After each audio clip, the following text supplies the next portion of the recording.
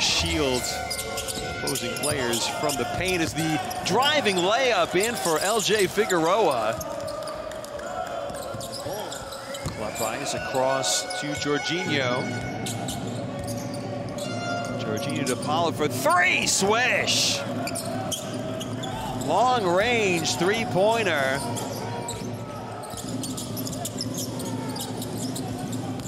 Diallo drives, continuation. That bucket, I think, is going to count. That is Biligha. Ellis driving, dishes, the finish and one for Biligha.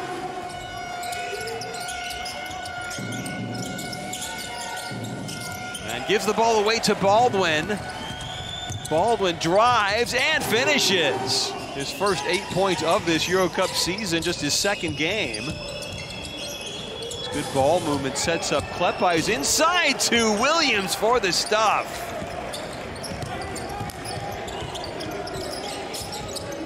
Great passing, setting up the, he sets the high screen for Jallow. Five on the shot clock now.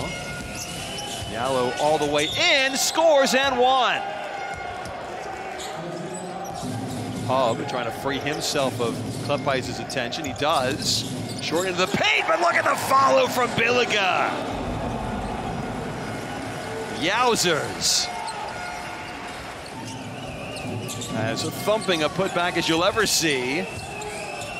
Herkenhoff, though, the backdoor cut by Jallow. That was pretty as a picture. Williams at the other end, the stutter, and trying to backdoor the pass. Not a kick against Grazulis, and Here's Ellis the other way. Grazulis with the flush. Quickening. And the transition basket. Down and in. Give and go after a fashion. Still Hubb inside. Drops off for Grazulis.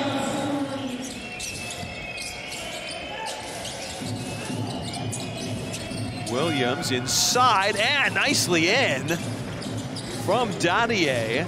His first points Hubb, the bank shot, no, I don't think that was intended. Dadier pushes the tempo. Dadier goes inside, off the window and down. Spotting up Biligha. Backdoor cut inside, Figueroa scores.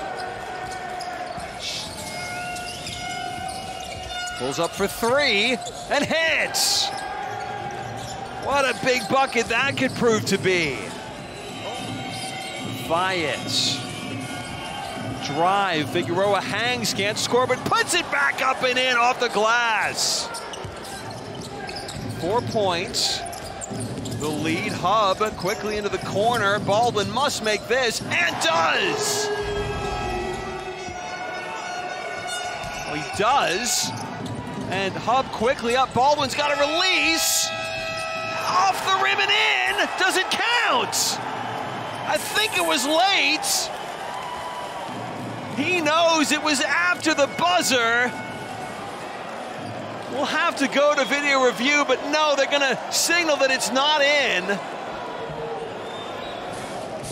Players hanging by a thread, but here is the confirmation. No baskets. Ratiopharm Ulm up to seven and three. Big road win for the German side.